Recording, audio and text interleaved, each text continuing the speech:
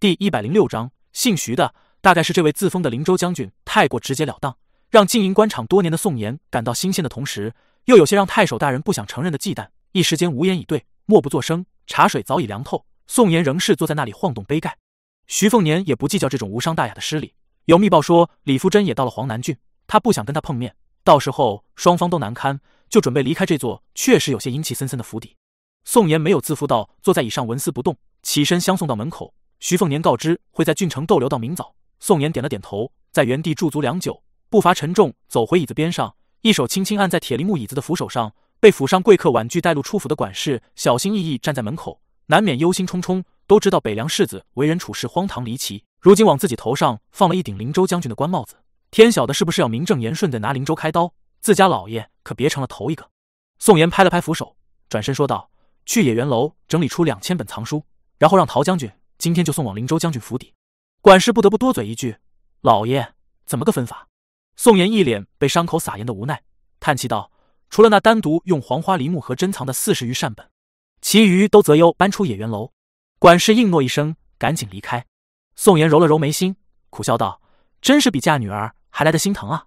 徐凤年带着徐衍兵和洪淑文走在宋府小路上，呼延观音并没有进入这座府邸，留在府外巷弄的马车上。徐凤年之所以选中黄南郡宋岩，主要是这个太守读书不少，但老学究气极少。当初宋岩故意在公开场合非议徐骁的赏罚不明，不过是官场上兵行险着的伎俩，以此吸引徐骁的注意力，哪里真是宋岩不安官场规矩了？只可惜遇上了徐骁这个不失风情的北凉王，媚眼抛给瞎子看。当然，徐凤年也开始怀疑徐骁是不是有意将这个灵州顽石留给他去收服。徐凤年思索间，抬头望去，瞧见一个身材高挑的府上丫鬟，衣着朴素，腰间还出奇的挎了一柄长剑。对自己一行人颇为面目不善，他拦住去路后，按住剑柄，厉声问道：“你们是何人？先前就在墙外街上不怀好意，为何擅自闯入后院？”在灵州不披甲胄却配良刀的年轻人，肯定是那些不知天高地厚的纨绔子弟。他跟随小姐，不知道教训了多少次，这些只会靠着父辈公英为恶乡里的浪荡子，也没半点记性。这回竟思闯郡守府邸，耀武扬威来了。徐凤年看了一眼他，身后洪书文跃跃欲试，眼神阴冷，就要直接拿刀鞘直接砸晕这小娘子。徐凤年丢了个眼色，示意洪淑文不要惹事，对他笑着解释道：“我是你们府上客人，马车停在后门巷弄，这就要离开，并非如姑娘所想，私闯官宅的罪名可不算小。我没这份胆量来太守府邸惹是生非。”徐凤年说完就要绕过他前行，不曾想他横移两步，再次拦住去路。洪淑文翻了个白眼，这娘们真是不知道死字怎么写的。女婢生硬说道：“不行，你得报上名号，我问过了管事，确认无误后才能放你们离开。”否则，你们若是贼胆包天的窃书毛贼，或者是那意图行凶的江洋大盗，洪淑文忍不住骂道：“滚开！”性子不比洪淑文好多少的女婢怒气横生，就要拔剑相向。不过让她魂飞魄散的是，不论她如何用力，长剑就是无法出鞘，好似被钉死在剑鞘一般。徐凤年知道洪淑文没这份通玄能耐，可对曾经力压王秀一头的徐衍兵来说，就是雕虫小技了。徐凤年直接与他擦肩而过，古井不波的徐衍兵紧随其后。洪淑文一脸看天大笑话的促狭表情。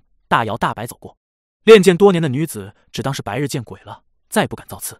转头怔怔望向三人，发现都有影子，才松了口气。他可真怕他们是当年惨死在这座府邸里的孤魂野鬼。丫鬟已经不敢动弹，可府上又有人阴魂不散，长剑如虹，直掠而来。徐凤年皱了皱眉头，洪淑文乐得有人撞到他刀口上。不过有殿下在场，他的出手倒没有太过狠厉，只是迅速摘刀，用刀鞘戳在那刺客的胸口，然后一脚踹在那人腹部。洪淑文似乎觉得便宜了那人，快步而去，一脚就要凶狠踩在那刺客的脸面上。徐凤年已经出声道：“可以了。”洪淑文收回距离那人脸面只差一寸的靴子，重新配好北凉刀，反身走向菩萨心肠的世子殿下。先前拔剑不成的丫鬟带着哭腔喊道：“小姐！”被洪淑文一戳加上一踩的年轻女子挣扎坐起身，跟丫鬟指了指掉落远处的佩剑，然后朝那三人背影艰难喊道：“喂喂喂，那个头发灰白的，别急着走，我有话问你。”不过让宋黄梅大失所望，那家伙竟然就这么头也不回离开，也不知道是怕他爹帮他出气，还是根本就不屑跟他言语。不过很有江湖义气的宋黄梅也没有不依不饶的念头，先前出剑留人本就理亏，他也没觉得对方下手就是蛮不讲理，技不如人，心服口服。宋黄梅虽说疼得脸色雪白，但好奇心远胜那点恼羞。可婢女铁牙就没这份豁达了，帮小姐捡回了长剑，搀扶小姐站起后，明知不是那伙人的对手，也要去拼命。宋黄梅抓住他的手臂，挤出一个比哭还难看的笑脸：“铁牙，你别去，他们真是府上的访客，还是我爹亲自迎接的。哎呦，真疼，不能再说话了。婢女铁牙哭泣道：“小姐，哪有这样的客人？我得跟老爷说理去。”宋黄梅反而倒抽冷气的同时，一脸心满意足笑道：“铁牙，咱们可算遇见高人了。走走走，扶我去傅真姐姐那儿。等我缓过气，再去问爹那家伙到底是何方神圣。”徐凤年走入马车前，对洪淑文说道：“黄南郡有北莽在此扎根多年的几根暗桩，看你闲着也是闲着，今晚你就去跟咱们的碟子一起做事，不过不计你军功。记住一点，你得按照他们的规矩来。如果事后被我知道你乱杀一气，以后这种好事就别想掺和了。”洪叔文使劲点头。眼神炙热，舔了舔嘴角，笑脸渗人。郭扶风独自坐在屋内火盆前，也不觉得被人轻视冷落，还有打量屋内装饰的闲情雅致。若是这点城府心胸都没有，他如何能让北凉道上屈指可数的豪族女子李富珍都愿意痴情倾心？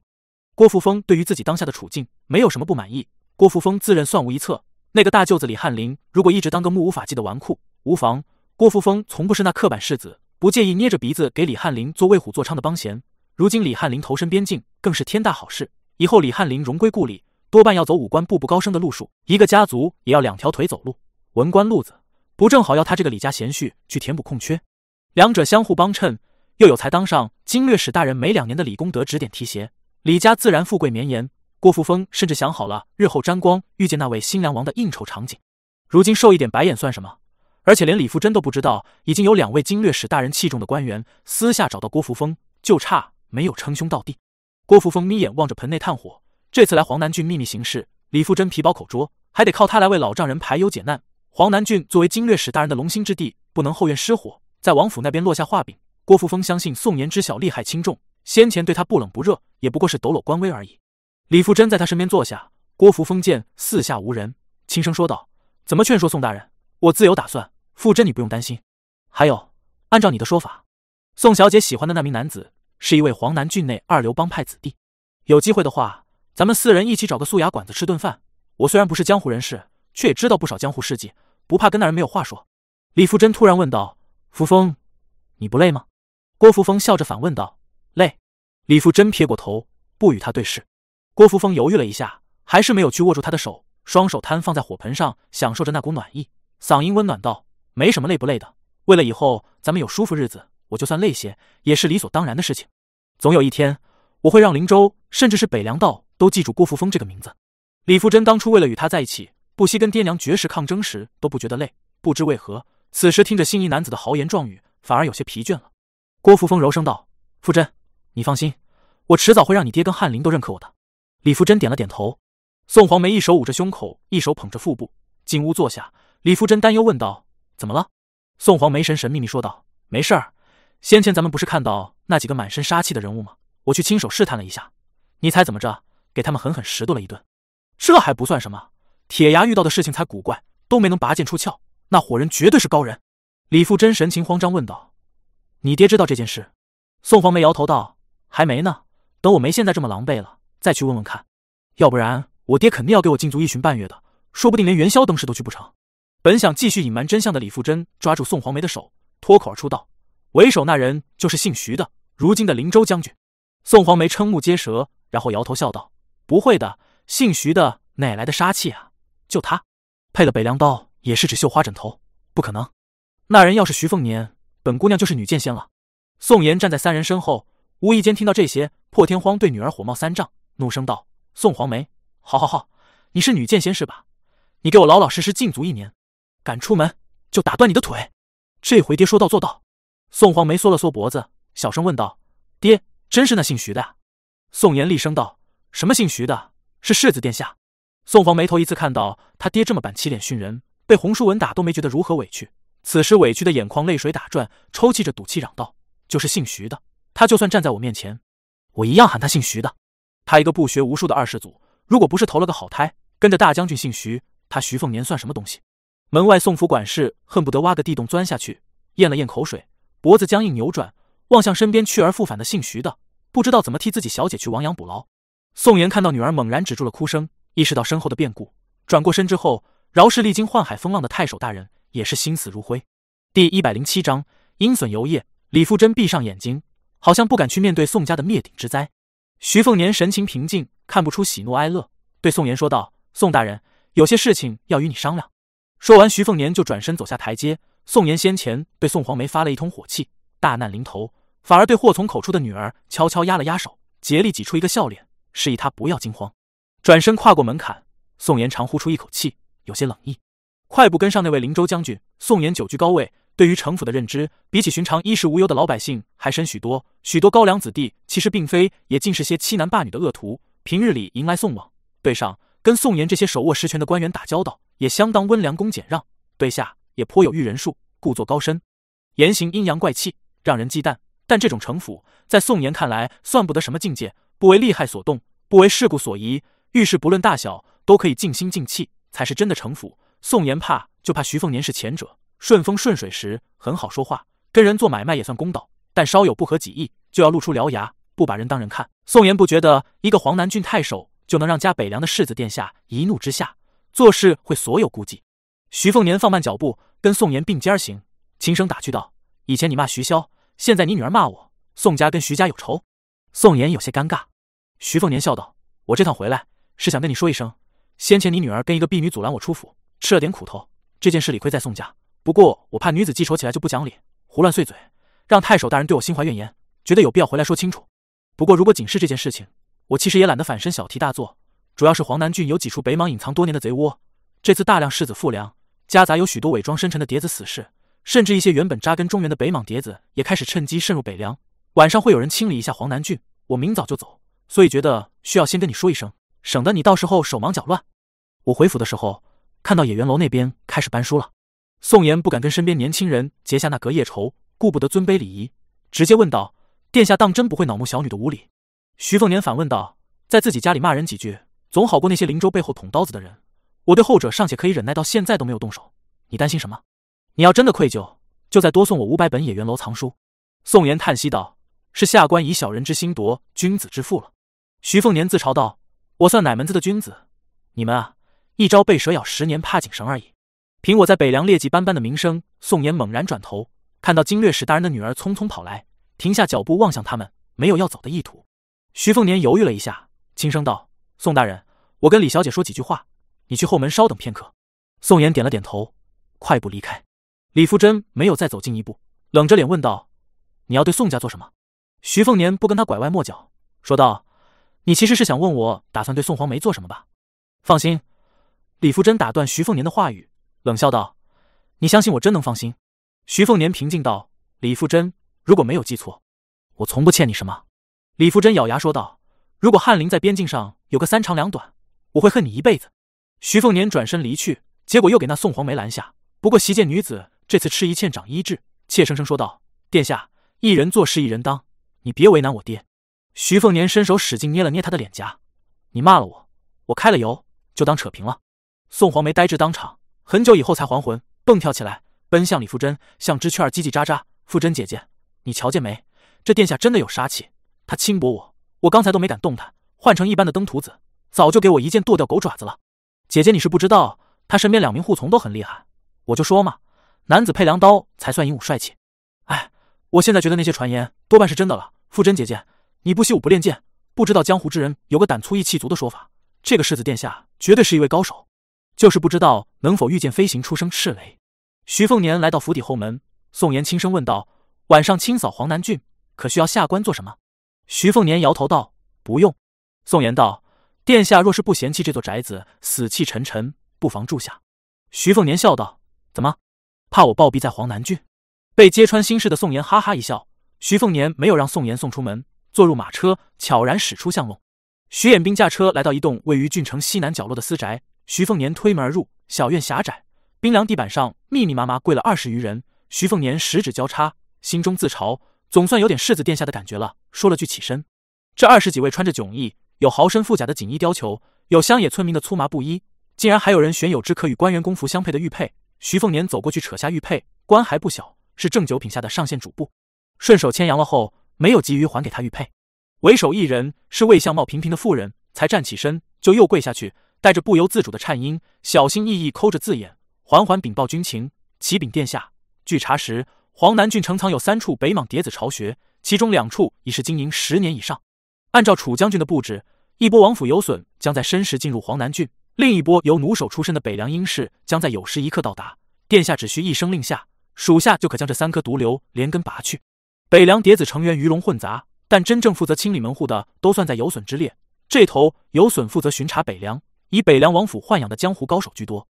吕虔、唐叔修等人，以及后来劫杀皇子赵凯的那一批，都是这类以杀人换取武学秘籍和荣华富贵的死士。还有一些是在黎阳犯尽死罪，不得不依附北凉寻求一线生机的亡命之徒。不过当下北凉谍报一分为二，从楚禄山手上划走一半权柄。落入二郡主徐渭雄手中，徐渭雄懒得花心思在旧有人事上挥霍光阴，直接从北凉军中调用了将近百人的精锐游弩手，成为鹰士，跟游隼名义上协同行事，实则也有相互掣肘的意味在内。于是，鹰隼共同游曳在北凉大地上，择人而事。至于关外事务，仍是以老碟子头目楚禄山掌控居多。徐渭雄似乎暂时也没有染指的意图。徐凤年对于这两块最为藏污纳垢的机构几乎没有涉足，但大致设置有所耳闻，例如此时院子里的碟子。大多属于常年蛰伏一地、不准挪窝的甲鱼，还有机尾稍微灵活一些的石鱼，定期定时往返凉州，负责牵线搭桥、传递军情。很多甲鱼到老死都不知同伙身份。像今天这次大大咧咧齐聚一堂，极为特殊。等人的时候，才被那绰号“黑里”的黄南碟子头领妇人告知，是上头有位大人物要来黄南郡亲手布局齐网。只不过几乎没有人想到会是北凉世子莅临寒舍，一时间都有些战战兢兢。他们不是那些只会以讹传讹的市井百姓。对于世子殿下的所作所为，按照他们的资历和身份，不同程度的亲眼所见一些秘录，亲耳所闻一些秘事。徐凤年笑道：“黑里，站起来说话。本来说好是你的顶头上司王同雀来黄南郡，本世子是临时起意，顶替了王同雀的位置。你们别嫌弃一个门外汉对你们指手画脚。今晚的行动，本世子也就旁观不掺和。”那位一直负责黄南郡谍报具体事务的妇人如释重负，站起来，正要客气几句，结果被世子殿下一手掐住脖子，咔嚓一声。扭断之后，又被笑意不变的世子殿下随手摔在了一边。徐凤年继续笑道：“忘了说一声，王同却之所以没来黄南郡，不是不想来，是来不了，因为他在来的路上就已经被楚禄山的人宰了。这个黑里跟北莽一名提干大人眉来眼去有好些年份了，黄南郡从头到尾就烂透。本世子知道，除了他，院子里其实还有几人投靠了北莽诸王。这次咱们兴师动众，原本到最后死的也就是些不起眼的喽啰，这可不行。院子里剩下众人面面相觑。”那名已经成为北凉官员的佩玉贾鱼走出一步，轻轻望向黑里尸体，有些认命的凄凉笑意，还有些兔死狐悲。徐凤年不理睬这个自己暴露身份的奸细，晾在一边不管，走到台阶上，双手插袖，仅留下那枚玉佩在袖口外摇摇坠坠，笑眯眯问道：“还有没有谁想死得痛快一点的？等下被本世子亲手揪出来，可就没黑里这份待遇了。”院子死寂无声，显然无人响应世子殿下的好意。徐凤年缓缓报出三个名字。三人都被洪叔文迅猛出刀，当场拦腰斩断。徐凤年说道：“根据密报，院子里还有个隐藏很深的北莽死士，身份不详。不过没关系，黄南郡的谍报机构本来就要推翻重来，为了省事，也为了不留后患，只能都杀了。黄南郡是北莽蛛网下了大力气、辛苦经营出来的风水宝地。本世子相信那条大鱼，他的性命比起院子里所有北凉碟子加起来还值钱。这笔买卖，北凉不亏。一位体型臃肿的副甲，竟是身手敏捷的不像话。”一个脚尖轻踩就要跃出院墙，被洪书文一枚短戟插中后背，尸体重重挂在墙头上。洪书文走过去，抓住双腿，拉回院内。他一死，院内还能站着的甲鱼和石鱼都松了口气。如果这家伙死活不肯露出马脚，非要拉着其余十几人一起株连冤死，他们也只能伸长脖子被宰杀。否则，他们也不敢跟那杀人不眨眼的北凉世子反抗。作为甲鱼、石鱼，大多有老幼家眷。若是今天死在这里，好歹算是为北凉捐躯。要恨就只能恨那几个北莽谍子太过奸猾狡诈，但是他们死后，满门老小以后仍是可以衣食无忧。就在所有人都以为尘埃落定之时，徐凤年顺着徐衍兵的手指指向，盯住一张面孔古板、是个不起眼的中年人。这胖子为了保住你，都愿意为你去死，可见你身份不俗。否则我若是他，就是死也要拉着其余人一起陪葬。你是叫韩商吧？以前在幽州边关上做成了好几桩大事，算是为北凉立过汗马功劳。这些年跟黑里很不对付。被黑里排挤的多年一事无成，原本你算是院子里最清白无辜的碟子。不过你知道你什么时候露出马脚吗？韩商英沉笑了笑，望向徐衍兵。早就听说王府藏龙卧虎，但是北凉王身边的地支死士都出手过，唯独一个叫徐衍兵的家伙一直无所事事，让人无法探究深浅。北莽这边猜测此人比起枪仙王秀的师弟韩崂山，境界只高不低。如今看来确实是如此。我分明已经压抑下心跳次数，自认没有半点破绽，不曾想仍是被看穿。可惜这份消息我是传不出去了。错在这次没想到是世子殿下亲临，而且还有徐衍兵随驾而行。不是韩商不想垂死挣扎，而是被徐衍兵针对。武道修为不低的韩商自知根本就是徒劳，韩商眼前一黑，甚至没有见到徐衍兵如何出手，就晕厥昏死过去。徐凤年把玉佩丢还给那名官员，笑道：“王铜雀，黄南郡将功补过了。”王铜雀接过玉佩，佩在腰上，撕下一张脸皮。院内几人才知道，这家伙就是十几年来一直坐在黄南郡碟子第一把交椅上的王铜雀，一个十几年来妻儿都不曾看到他真面目的男人。他跟随世子殿下一起走入屋中，轻声问道：“殿下为何不让卑职继续在暗中潜伏？虽说黄南郡今晚以后就要干净许多，可难保以后不会有无垢积淀。”徐凤年说道：“你不用留在黄南郡了，跟你妻儿道别，然后去幽州。”王铜雀点了点头，没有任何异议。徐凤年突然说道。我知道你栽培了一个根脚很干净的徒弟，楚禄山对他很器重。你带他去幽州，再卖命几年，历练历练那年轻人。等他接过你的衣钵，你就别再当碟子了，跟妻儿团聚，以后改头换面，过过安稳日子。早已经磨砺的刀斧加身，不变容颜的王彤却愣了愣。徐凤年笑道：“虽然我说放心两个字，大多数人都只会更不放心。但本世子这回还是希望你能放一次心。北凉以前不亏待功臣，以后也不会。”这个男人突然笑道：“殿下的好意心领了。”可王同雀的命贱早已习惯了跟人勾心斗角，你让卑职突然去养花种草，这实在是比杀了卑职还难受。再说咱们这一行不像上马披甲打仗杀敌，过了年纪就不顶用，越是上了年纪，越是做的得心应手。徐凤年无言以对。王同雀破天荒奶言道：“殿下，我那才十岁出头的儿子，听了说书先生的讲述，对殿下佩服的五体投地。这小子打小气力就大，就想着以后能去凤字营做白马一从。”徐凤年点头笑道：“好。”等他到了年龄，我准他去凤字营。王彤却压下兴奋之情，低声道：“殿下，咱们谋划一下今晚的绞杀。”徐凤年摆手道：“韩商交给我就行了，其余楚禄山的既定布置都不变。洪书文晚上跟你们一起行动，你忙去吧。院子里剩下那些人还需要你去安抚。”王彤却应诺一声，轻轻退出屋子。第一百零八章，念来念去都是情。宋府，宋妍主动找到李富真，一同在府上散步。性子跳脱的宋黄梅历经波折。就敢触这个眉头，乖乖摘下佩剑学那些刺绣女工去了。宋妍一番斟酌后，缓缓说道：“侄女，先说些可能有些乏味的题外话。等叔叔说完，你再回去跟经略使大人说一说，黄南郡为何会改天换地。如今灵州官场遭逢巨变，我宋妍假使不是经略使的门生，而是那灵州将军的幕僚，设身处地站在世子殿下的角度看待问题，可有上中下三策应对。下策试图以杀人服众，又分上中下三层境界。”杀大批虚吏为下策下乘的昏庸手段，只能让灵州人心彻底涣散。不光是灵州本土大小官吏觉得这个灵州将军是草囊饭袋，便是看戏的外地士子，也要以为上错轿子嫁错郎，遇人不淑。今日能杀那些捣乱虚吏，明天就能杀他们。朝不保夕，一时间的官位得手又能算什么？下策忠诚是杀掉几个宋延这些有分量的官员，相对好些，因为虚吏不是灵州官场动荡的主谋，是被跟宋延差不多级数的官员指使。有文官有武将，都是些根深蒂固的地头蛇。有这帮人暗中受益，灵州才能如此沆瀣一气。至于是杀宋妍，还是杀哪一位郡守长官，或者是顺势砍断那位龙秦郡怀化大将军的手足，其实相差都不大。惹是虚吏胆小怕事，噤若寒蝉，灵州官场能有片刻安生，但是此策仍旧不是长久之计。等灵州将军一走，灵州还是那个灵州，这与王朝治理贪官是一个道理。治标不治本，春风吹野草生，无法斩草除根。下策上乘的手段很简单。只用杀一个人就行了。李富真对官场从不感兴趣，不过太守大人娓娓道来，竟是听着也不觉枯燥。但是宋妍接下来一句话让他惊骇的面无人色，那就是杀经略使大人，杀谁都不如杀你爹更能够震慑灵州。连北凉道官衔与北凉都护一样的经略使都可杀，惹恼了世子殿下，还有谁能逃过一劫？况且经略使大人为官如何，侄女你肯定心里有数。官场上的过河拆桥，只有更血腥，没有最血腥。李阳文有一门三姐两父子的宋家，吴有世代务守冀州边境的韩家，他们比起李大人，可都是货真价实的朝廷栋梁清官功臣。以此来说，他们都能死，李大人算是能死上很多次了。说句难听话，李家搜刮了那么多金银，抄家以后，边境将士都能过个有大鱼大肉的好年了。李家名下当铺就有二三十家，下级不计其数的贿赂，珍奇玩物、古董字画，李家左手进，从当铺右手高价售出，更别说还有两支人数在百人以上的马队。专门用作进行盐铁贩运和茶马贸易，因此我宋妍当初听说世子殿下自领灵州将军，第一个念头就是觉得徐家要着手对付你们李家，甚至派人送去边境一封密信，询问你哥哥李翰林是否被软禁起来。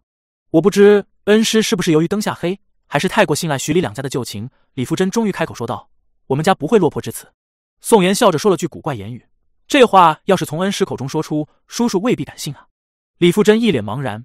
宋妍继续说道：“殿下没有用这下三策解决灵州困境，出人意料。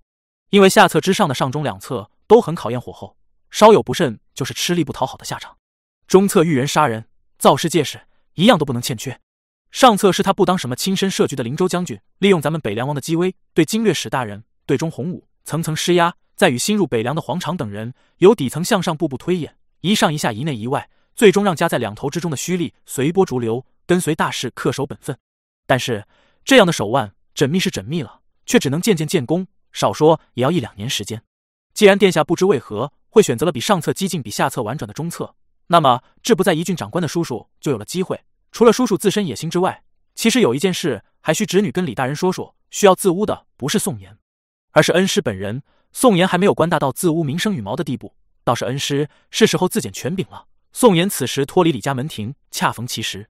李富真轻声道：“傅真也不知道叔叔的言语有几分真假，也不知道这些计谋策略的好坏，只记得爹私下曾经说过，宋叔叔为官远远不如他，但看待局势远胜于他。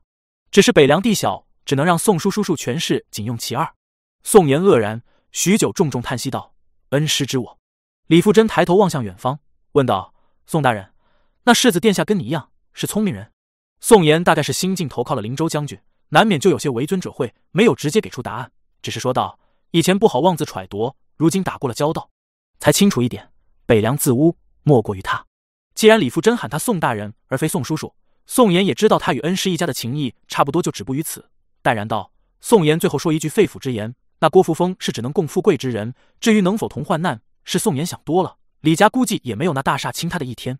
李富真的脸色不见恼怒，轻轻施了个万福，姗姗离去。在那栋黄南郡私宅密室，韩商已经被剥皮抽筋的七七八八，还是硬气的一言不发。徐凤年伸手到脸盆里洗了洗双手，看着一盆子微微荡漾的浓稠血污，感叹道：“真不是谁都能当大碟子的。”洪淑文毛骨悚然站在旁边，徐衍兵倒是神态自若。洪淑文看了眼世子殿下依旧有些泛红的双手，我再换盆水去。徐凤年点了点头。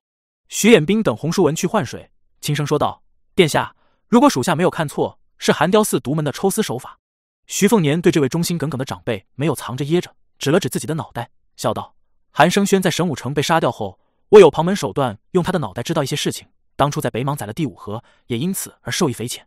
不过我被柳蒿师用天象手法剥离了大黄庭的底子，修为不济。”很多手段就算知道怎么用，但就是用不出来。就像一个末流剑士，即便死记硬背了两袖青蛇的全部招式，力所不逮啊！一品四境，我已经有过三次伪境，说不定是四次。前无古人后无来者，似乎也没什么遗憾了。徐彦兵不再说话。洪叔文换了一盆清水进来，徐凤年这才彻底洗干净双手，抖了抖水渍，心意所致，七八柄飞剑一一从寒商体内掠出，在水盆里打了个水漂旋，藏入袖中。这些精致小玩意儿，只要剑胎圆满。就无需内力支撑，因此徐凤年用起来就四个字：得心应手。徐凤年离开密室，回到屋子，院子里先前那些被刨除嫌疑的黄南郡甲鱼、石鱼都有条不紊展开隐蔽行动，做饵的做饵，障眼法的障眼法。王彤却也不知所踪。别看这次院子里众人生死一线，其实对一些甲鱼之外的流动碟子来说，尤其是边关附近的碟子，实在是平常的很。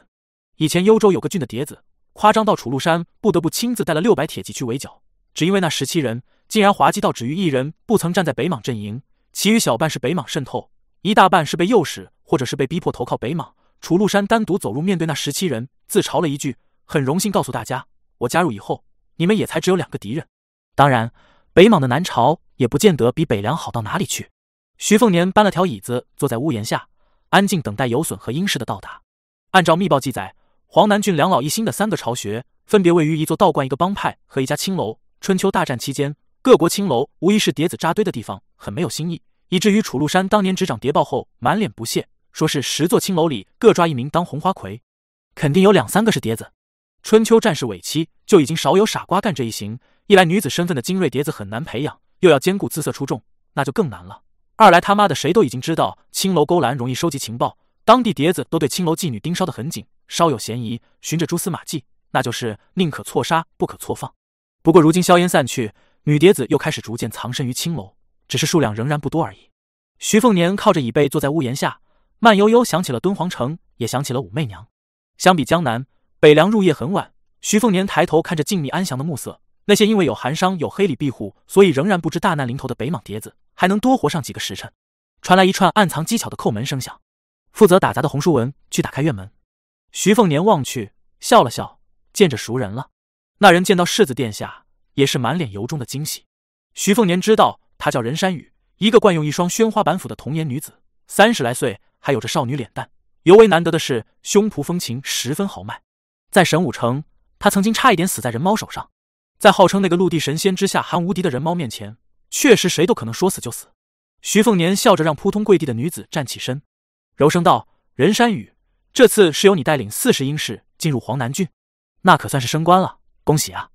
被世子殿下说出名字的任山雨灿烂一笑，露出一对与他年龄不符的俏皮小虎牙。很难想象，这么个惹人遐想的小女人，用大斧砍人如砍瓜切菜后，会拿斧头直接在胸脯擦干净血迹。他娇羞说道：“回禀殿下，是那个与奴婢一起在神武城出现过的亡灵带队。”奴婢就是先行探路的小卒子，跟军中斥候差不多。有隼那边已经跟王铜雀接头，王林他们还是在有时一刻准时入城。徐凤年点了点头，让洪淑文给这位女子搬了条椅子。他好似得了不敢奢望的天大赏赐，满脸交织着惊喜和忐忑，轻轻坐下，却只敢把半片屁股蛋搁在椅子上。徐凤年笑问道：“才当了芝麻小官，跟你功劳可不符合，要不我帮你说一声。”曾经在金子山落草为寇后杀人如麻的女子坐立不安。耳垂已经红透，竭力平稳心绪，不让胸脯颤抖的太过厉害，一脸郑重其事说道：“奴婢自幼便是东岳剑户出身，如果不是北凉在奴婢九岁那年收纳，做了一员碟子，早就死的不能再死了。奴婢也笨，有过两次贻误军机，要是在别的地方，早就该抹脖子自杀谢罪，能活着就很知足了。”徐凤年手肘抵在椅子扶手上，托着腮帮笑道：“没想到陆球儿还剩下点人情味。”听到世子殿下对北凉所有碟子敬若神明的楚将军直言评点。任山雨以为闯下泼天大祸，吓得就要站起身重新跪下。徐凤年另外一只手往下虚按了按，我就随口一说，别紧张。任山雨屁股落在椅子上，愈发不敢说话。任山雨壮着胆子偷偷看了眼徐凤年，只见世子殿下眯起眼，笑脸醉人。他双手攥紧衣角，满脸汗水流淌，有句言语如鲠在喉。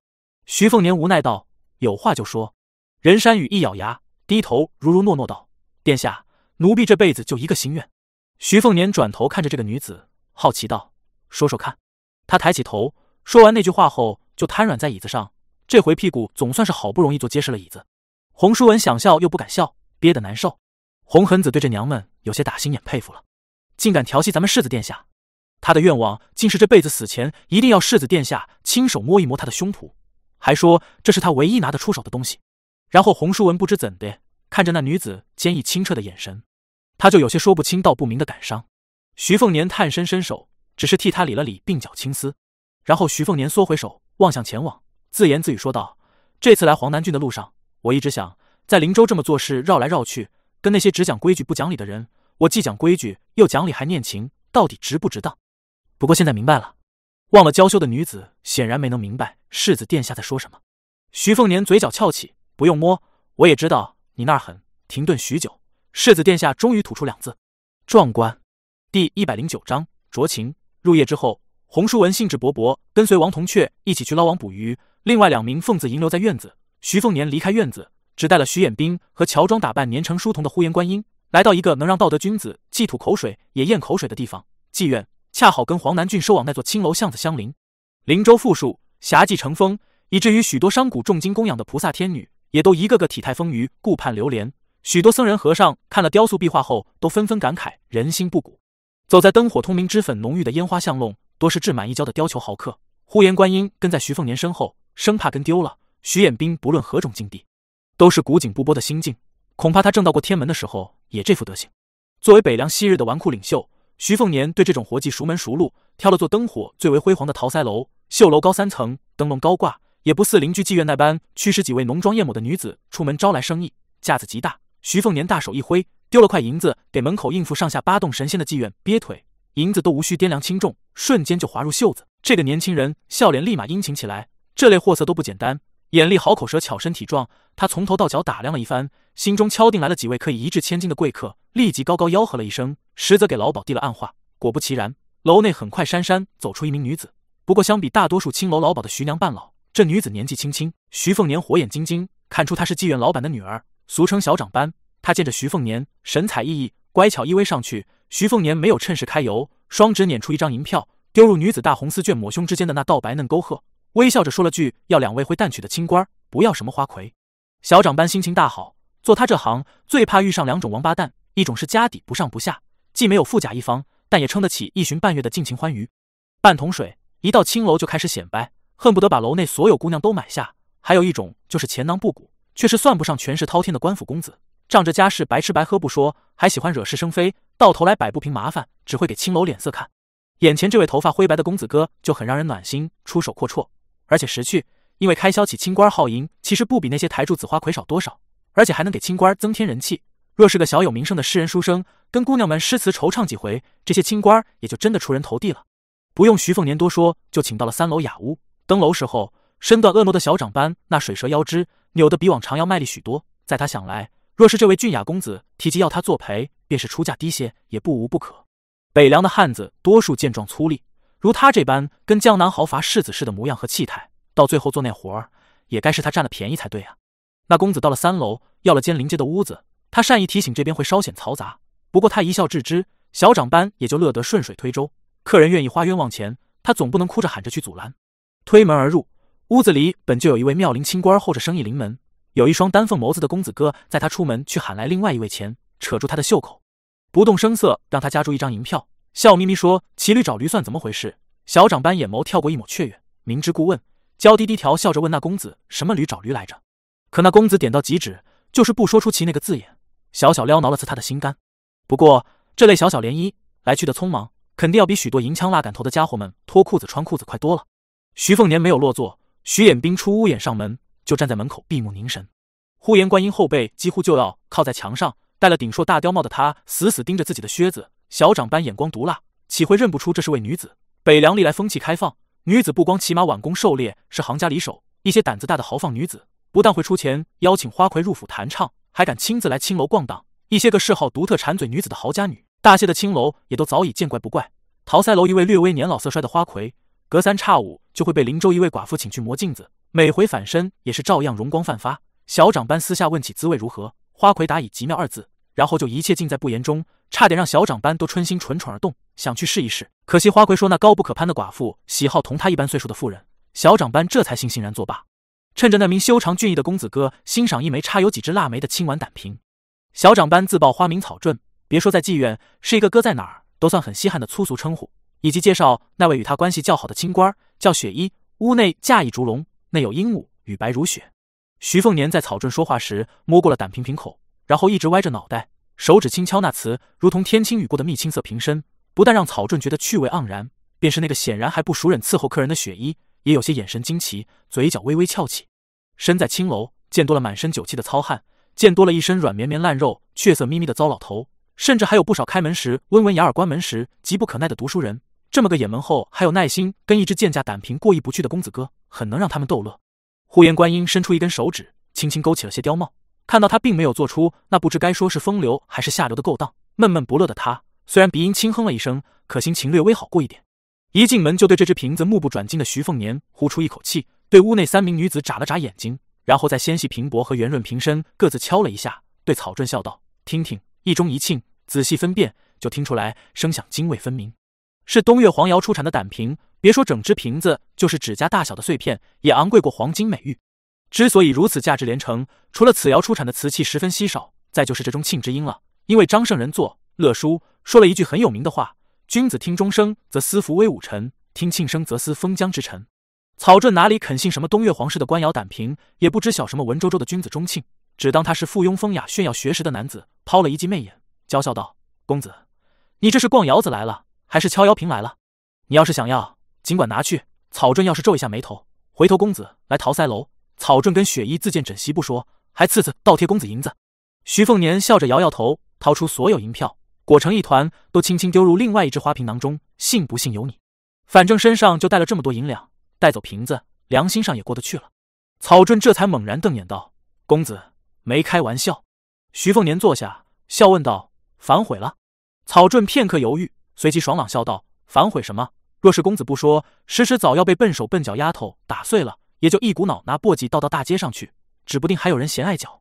不过公子既然已经身无分文，草镇今晚也不多要一颗铜钱了。但是公子要答应以后要常来桃腮楼光顾我的雪衣妹妹，行吗？说到最后，草镇已经黏糊在徐凤年身上，两人同坐一张椅子，他坐椅子，他坐腿，两不耽误。草镇身材曼妙，那丰满两瓣巧妙研磨，俏脸上尽是媚意。徐凤年拍拍他腿，不伤感情的示意他起身，眯眼笑道：“我不是灵州人，以后很难再来桃腮楼了。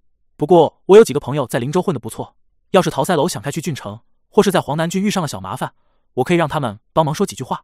当然，先前我说瓷瓶价值千金，你不信，这回你也可以不信。”草镇起身后，顾不得什么故作矜持的脸面，只怕过了这村就没这店，赶紧小心翼翼问道：“公子在灵州郡城认识的朋友，草镇可不敢奢望高攀，也不敢叨扰呢。”不过，敢问黄南郡的世家子是哪一位？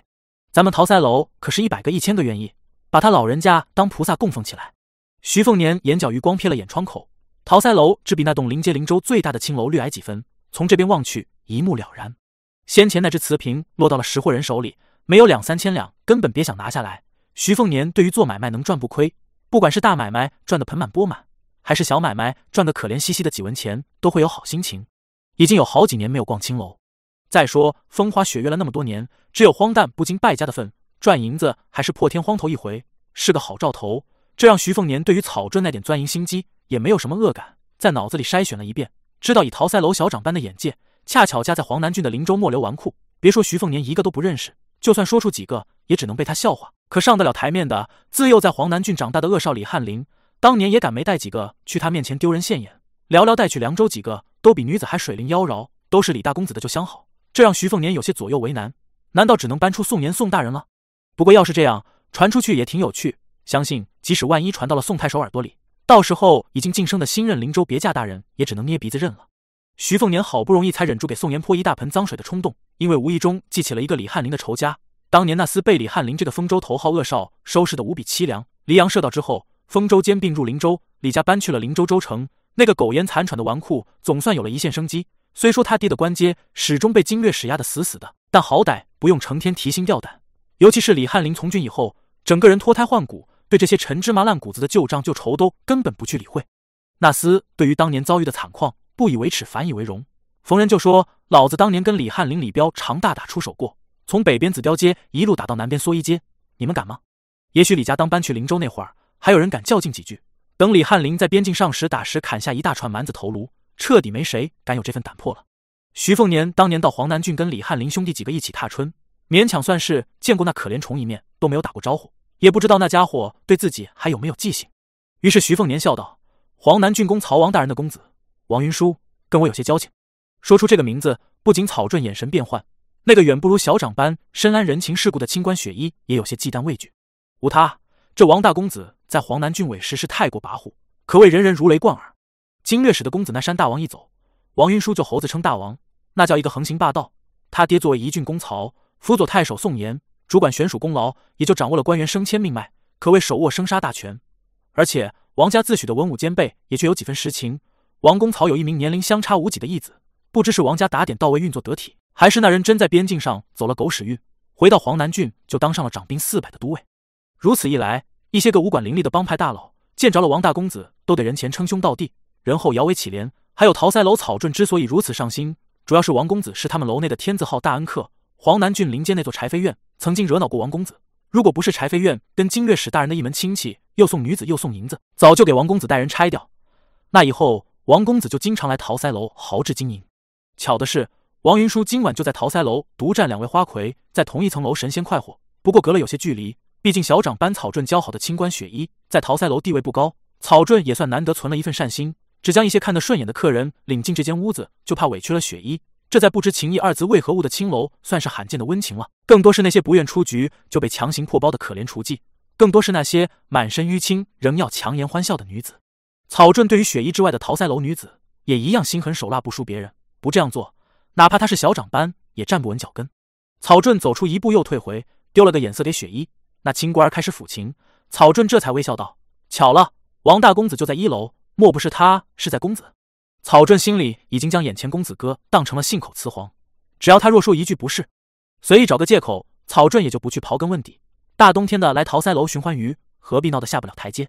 否则草镇起初都有寻个说法，出门去请来王云舒来验证身份的促狭想法。不过如此一来，害人不利己。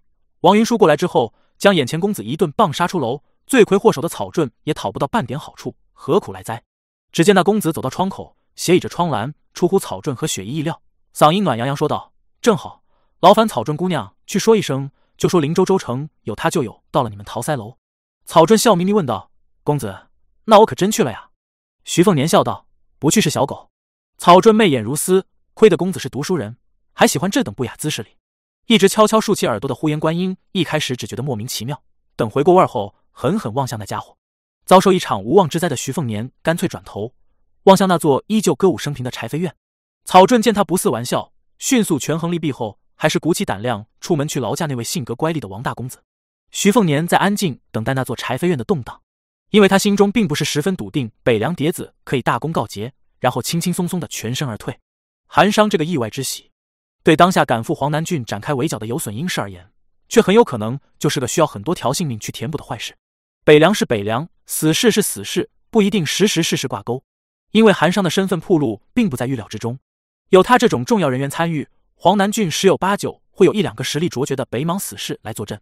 碟子之间不见太多硝烟的血腥战士，占据主动的那一方，赢就赢在可以有的放矢，一物降一物，算计越精准越好。假若你有三品武夫在场。那我就派遣二品小宗师来跟你过招。你有一名小宗师高手，那我就派遣两名小宗师。你有三位，那我就干脆不惜惊动一品金刚镜来跟你玩。江湖难混，在于江湖那些越是顶尖的高手，不一定越逍遥。尤其是掺和到关沦为鹰犬狗腿的高手，越是不得不去爱惜羽毛，因为永远不知道下一次生死之战，敌人会不会是同一境界的死敌，甚至是高出一个境界的高手。这些个站在敌对阵营的高手，哪怕被誉为凤毛麟角的超然人物，可一旦被你遇上一次就够了。几十年辛勤修习，几十年武道砥砺，任你生前叱咤江湖，一样是万事皆休的下场。当然，叠子交锋更多是一些类似王铜雀和寒商的爬升，靠演技，靠应变，还需要靠运气。徐凤年听着悠扬琴声，转头看着总算愿意走进自己的呼延观音，他仰起头，轻声问道：“院子里那个任姐姐喜欢你？”徐凤年哑然失笑，柔声道：“他喜欢的是一个不当真败絮其中的下一位北凉王。”否则，他从九岁起就给北凉卖命，会觉得自己很不值。不过，说实话，如果上次在神武城见过我后，发现是个猪头肥耳的丑八怪，那么今天在院子里重逢，肯定也不会跟我说出口他的那个愿望。呼延观音抬了抬下巴，眼神犹疑：“那你怎么不满足那位姐姐的愿望？不是举手之劳吗？”在来黄南郡路上，隔着一层薄薄绸缎，举手之劳了足足一炷香的徐凤年满脸笑意，没得到答案，但比得到答案还要心情轻快一些的他，板着脸转过身。偷偷一笑，徐凤年转头望向那座青楼，心中说道：“死是连念想都没了，只会死得更快。”他之所以没有参与其中，不光是他不愿太过插足叠子系统，更重要是他跟徐衍兵太早出手，导致绞杀太过顺利。一些深藏泥塘底部的老王八，可能宁愿看着徒子徒孙相继赴死，也会憋在泥泞中，不愿冒冒失失上岸。很多原本可以简单处置的事情，往往因为他是徐凤年，就会变得很复杂，不得不去步步为营。徐凤年听着逐渐驳杂起来的琴音，他的指法不够娴熟是一个次要原因，还在于这架心琴虽说勉强取巧，既然无法去山岳高峰取其良材，便用了老沙木房梁做琴身，这是许多贫寒琴师的无奈之举。这不是问题所在，很多新手甚至是一生经营琴技的老手，都不曾醒悟琴赋未必以工整平滑为妙。能操琴者未必能酌琴，能酌琴者则必善操琴。徐凤年年少时不知剖开多少架古琴名琴。发现这些大小曹赋，非但不如琴谱所传那般光滑如镜，反而错综粗糙不堪，形似酒液。有徐衍兵在屋外，不担心柴妃院有动静而不知。既然草盾还没请来王大公子，徐凤年闲来无事，就走向那雪衣，让他起身。在这名清官一脸匪夷所思的凝视下，很干脆利落的剖琴剑腹，悄然绣出一飞剑，帮他酌情一二，笑道：“弄坏了琴，我回头帮你买新的，这些银子还是有的。其实好的琴，在于声欲出而不得出。”说的低俗一些，就如同女子脱衣诱人，将脱又未全脱之际，总是最让男子遐想连篇，身无余物时，还是不说这个比喻了。大煞风景，我当下能做的十分有限。不过一些道理，以后你寻人帮忙酌情时，可以说给他听。雪衣听着这位清雅公子仿佛没个尽头的温纯念叨，一开始他还能一字一字记下，后来忍不住放开胆子笑问道：“公子，你真是来桃腮楼买醉的吗？”徐凤年没有抬头，取笑道：“你们从头到尾也没给我递酒啊。”茶水倒是有，就算一茶壶都灌进肚子，可那也喝不醉人。呼延观音来到竹制鸟笼前，朝那只鹦鹉做了个鬼脸。雪姨就要去拿酒，徐凤年摇头道：“不用了。”然后雪衣看到这位小心翼翼酌情的公子，怔怔入神。徐凤年猛然站起身，然后又坐下，痴痴望着那架被他亲手所着的破琴，收回视线，闭上眼睛，一根手指轻敲眉心，轻声呢喃，其实是在不断重复一句话：“物有不平则鸣。”雪衣只当这位公子是酌情到了走火入魔的境地。那公子仍是自言自语，不过零零碎碎，加上他也担惊受怕，就有些听不真切了。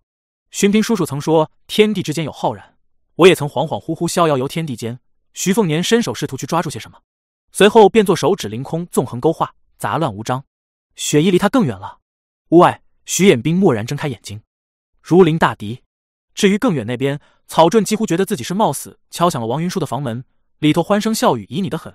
屋外一大波护从，有王公子那位都尉义兄的佩刀甲士，也有黄南郡几大帮派里的高手的嫡传弟子。看他这位小长般的眼神，可都跟正经不沾边。果不其然。房门没开，只传来王云舒的骂骂咧咧，扬言胆敢坏了他王大公子的雅兴。男的打断腿脚拖出去喂狗，女的就打赏给他手下十几票兄弟都痛快为止。吓得草震这种年纪不大却江湖很老的女子都有些嗓音发颤，也不敢推门，战战兢兢说道：“王公子，我是草震呐，有事禀告。咱们桃腮楼刚来了一位灵州州城年轻人，喝过了些小酒，然后自称是王公子的旧友，也不知真假。草震斗胆来跟王公子知会一声，就怕万一真是王公子的朋友，说是喝酒。”他心中哀叹：“那位公子，草镇仁至义尽，也只能帮你圆场到这一步了。”屋内夹杂着某处肥肉颤颤独有的清脆声响。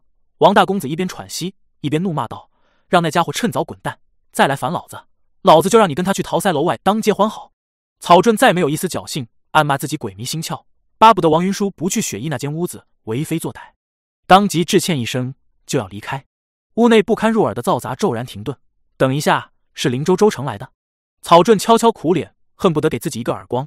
哪怕屋内王云舒见不着，仍是乖乖挤出笑脸道：“对的，是林州王公子英明，相貌如何？尚可。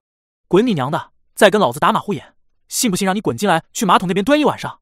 是个挺英俊的年轻人，有没有带大帮护从？没呢，就只带了一个，远不如王公子有气势，差远了。一个，对，一个就对了。你个头发长见识短的娘们，懂个屁的气势！等着，老子这就跟你去看一看。屋内稀稀疏疏的穿衣声响，让草震几近绝望。桃腮楼仿东南民居，又仿苗疆筒子楼，中设一口天井，不做任何遮掩，下那凉冬赏雪，独到匠心。不过楼内屋子对开，一般分内外两屋。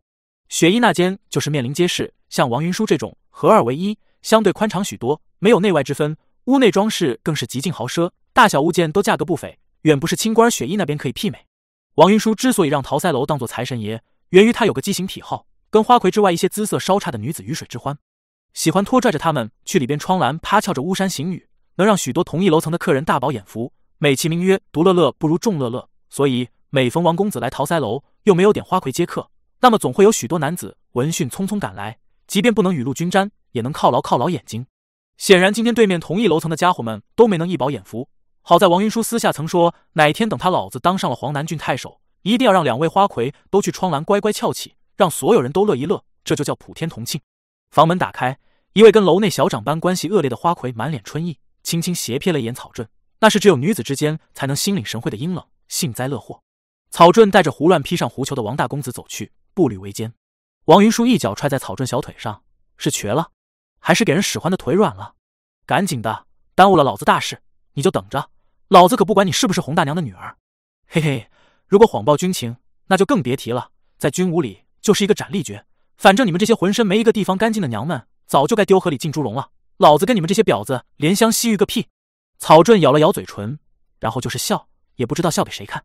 王云舒带着那帮恶仆护从浩浩荡荡前往草震所说的灵州旧友那边，在黄南郡就是天王老子的年轻纨绔，眉宇间有一丝不易察觉的阴霾。那家伙千万别跟姓林的有半颗铜钱关系才好，万一真给沾亲带故了。就算是个小喽啰，他王云舒打是万万不敢打的，说不定还只能乖乖奉为上宾。这可不是王云舒好说话，没辙呀。在富饶的灵州，王云舒几乎所有官家子弟和江种子孙都不怕，屈指可数那一小撮，顶多也就是井水不犯河水，唯独就怕那么一个。比家是，人家老爹是正二品，别说灵州，整个铁骑甲天下的北凉，也就大将军跟新任北凉都护楚大魔头可以压一头，自家老爹差了好几个台阶，比身手。一百个王云舒都揍不过人家一个，比军功，连脸皮厚如王云舒也没好意思比这个。王云舒只要一想到那姓李的，就越发心情灰暗。当他看到屋外环臂而立的魁梧男子，王云舒下意识停下脚步，不敢向前，因为他感受到了一股比他多为一兄，偶尔动了真火时更可怕的气息。那是一种如猫遇虎的强烈危机感。王云舒跋扈蛮横不假，可不是真的蠢到不可救药。要知道，在灵州以外，那个比姓李的还要生猛的北凉独一份公子哥，有关高粱子弟的生存之道，说过几条很是让他们人人信奉的金科玉律，比如咱们纨绔出来混，想要混得滋润长久，靠公英混，靠恶奴混，靠哥们混，靠钱财混，都是些救急不救命的法宝，都不如自己靠脑子混。起先王云舒对此嗤之以鼻，后来浑浑噩噩混着混着，吃了些苦头，也就愈发知道这言语里头的道理了。都是王云舒真等到靠颜面坠地后才醒悟的。很多狐朋狗友跌了跟头，狠到再没有机会悔过。比如一个从小交好的哥们，前年去了北凉以外的地方撒野，杀女人、杀侠客，最后嚣张到杀官兵，结果竟是到今天连尸首都没能找到。这哥们的家世在林州何尝比他差了？不同身份的人眼中就有不同的江湖。草遁、雪衣这些妓女的江湖，声色双甲的李白诗是他们的江湖魁首，而王云舒之流的纨绔，那家伙就无异于是纨绔江湖上的陆地神仙啊！而且都没谁能跟他比肩的。你上哪儿再去个能去京师金銮殿不跪皇帝的纨绔？上哪儿去找个能带着老剑神闯一闯五帝城的纨绔？王云舒见不得别人过得更好，但对有些惹不起的家伙，还是懂得认输服软。草遁对门口那位始终没有睁眼的护从，也不觉得有什么值得惊讶，不过是高大一些，沉默寡言一些。不过当他看到王大公子一脸凝重的时候，就有点咀嚼出味道了。敲门推门的动作也轻盈了几分。可草遁不管如何推门，就是推不开，以为屋内已经拴门做那床子勾当。他正要开口出声提醒里头的公子和雪衣。那位护从缓缓开口道：“等着。”草遁自身不介意那事情，甚至不介意有他一份，可他就怕身后的王大公子火冒三丈，到时候别说他这个小长班，就是整座桃腮楼都得被殃及池鱼。草遁身后的王大公子轻笑道：“再等等便是。”草遁真是如同被人架在火堆上烤，度日如年。不知道过了多时，他身后王云舒脸色阴沉的可以滴出水来。进来。好在屋内传来不轻不重两个字，听在草遁耳朵里，这辈子。就没有比这更天籁之音的话语。屋门被雪衣缓缓打开，耐心待尽的王云舒英笑着跨过门槛，看到一张破琴后头坐着个他做梦都没有想到的人物，华成辉。他王云舒也认得。然后这位黄南郡大纨绔用一种事后自己都佩服的当机立断，以迅雷不及掩耳之势，重重跪在地上，双手拍地，脑袋砰一声结结实实磕在地面。王云舒一个屁也没敢放，就那么五体投地跪着。这种独属于纨绔的境界，就算没有陆地神仙。也总该有二品小宗师的水准了吧？屋外草遁嘴角抽搐，屋内雪衣更惨，惊吓得赶紧去贴着墙壁站着，捂住心口，再不敢看一眼。更让草遁无法接受的是，那个被他误以为寻常氏族子弟的富裕公子，那个堂而皇之受了王大公子一拜的家伙，就那么一手托着腮帮望过来，似笑非笑。第幺幺零章笼络。王云舒才在桃腮楼两位花魁身上梅开二度，身子骨已经是强弩之末，跪着跪着就有些打颤。却是只敢去竭力纹丝不动，生怕稍有动静就被误以为心怀不轨。好在徐凤年已经笑道：“云舒，我才跟草尊姑娘说你我关系不浅，虽说上回打赌谁输谁见面就得跪赢，可你也不用跪上瘾吧？起来了，听说你在这里是头一号的豪客，就不怕以后被桃腮楼看清了？”草镇今天算是悲喜转换的跌宕，按照他的想法，王云舒断然不会是突然腿软才趴在那里装死狗。那就只能解释成屋内自称灵州州城人士的公子哥是不是王云舒的旧友不好说，肯定家世远胜黄南郡王公曹。如果是父辈官职品质相当的高粱子弟，就算某次被教训的刻骨铭心，但也绝对不至于低三下四道见面就给人五体投地。草遁身为小长班，雪衣可以躲起来发愣，他不行。他赶紧在脑中筛沙子般梳理了一遍头绪，除去先前坐在那头发灰白公子哥的大腿上沿磨臀瓣有些不敬，其余待人接物，草遁子还算认厚道。不过他到底只是桃腮楼的风尘女子，官家子弟多当官，将门子孙多投军，有生龙凤生凤，自然就有老鼠生儿打地洞。但像她这样跟着娘亲一起做妓女的，黄南郡肯定还有，但绝对屈指可数。徐凤年根本没有把心思放在王云舒身上，之所以能记得这个名字，还得归功于王大公子有个不俗气的爹，黄南郡公曹王西化。王姓在黄南郡是大族，宗祠繁多，不过同一个姓氏，同姓却不同祖。出名的有四支：水晶王氏、龙衣王氏、灵素王氏和紫金王氏。经略使李功德在黄南郡属于外姓人，之所以能够发家，就在于他既是龙夷王氏的毛脚女婿，又成功将宗脉牵扯交错的几大王氏豪族拧在一起。如果说虚力是心病，那么门第林立就是几近膏肓的救急。王云舒心思活络，否则也没办法在黄南郡左右逢源黑白通吃。当下就心中了然，世子殿下是不想泄露身份，赶忙起身，仍是郑重其事的拍袖振衣。徐凤年站起身，对草盾做了个饮酒的抬臂手势。屋内有酒，只不过用来伺候王大公子，就有些上不了台面。草盾就想着去酒窖拎几坛子封藏多年的纯酿，不过徐凤年说绿蚁就行。草盾愕然，也不敢质疑，不过仍是下意识瞥向王云舒，这让王大公子气恼的七窍生烟。腹诽这小长班，难不成瞎了眼？这不是坑害他吗？当下就丢了个凌厉眼神过去，让他别多事。草顺也知道不小心画蛇添足，赶忙低敛眉目，匆匆离去。徐凤年对王云舒摆手，说了个坐字。王云舒谄媚摇头，忙不迭说站着舒坦。徐凤年还是拎了条椅子给王云舒，自己则站在窗口。王云舒干笑着坐下，如坐针毡，把所有认识的菩萨仙佛都念叨了一遍，只求这位脾气极差的世子殿下别是先礼后兵，在龙秦郡连中红武都给收拾的不轻。他一个没有官职在身的虾兵蟹将，世子殿下还不是想清蒸就清蒸，想红烧就红烧？徐凤年手肘靠在窗栏上，问道：“王伯父身体可好？”王云舒咽了一口唾沫，点头道：“还好，还好。”对王云舒一直和和气气的徐凤年想了想，笑道：“王伯父是北凉少有的书香门第出身，在黄南郡学问之高，不低于太守宋岩。据说曾经有武当真人观其面相，给过谶语，怎么说来着？”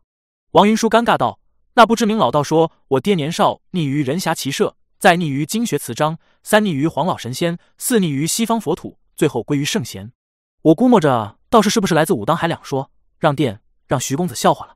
徐凤年摇头道：“我在武当山的时候的的确确听过这么一说，那位老真人是当之无愧的道门神仙，老长叫王重楼。”王云舒瞠目结舌，说实话，连王家对这谶语都不怎么当真，只当是茶余饭后的锦上添花。不过他爹年轻时候确实曾匹马挂剑赴极游学，人侠义气。